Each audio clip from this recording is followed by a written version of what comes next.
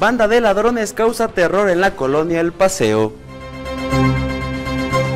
Avanza la federalización de los servicios de salud en San Luis Potosí.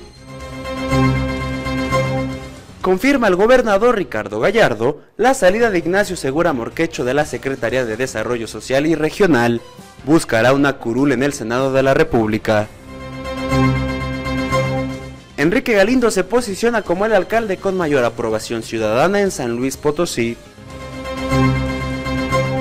Inaugura el gobierno del estado rehabilitación en escuelas primarias de Soledad. Pelea el CEPAC ante el Tribunal Electoral, mayor presupuesto para comicios del 2024.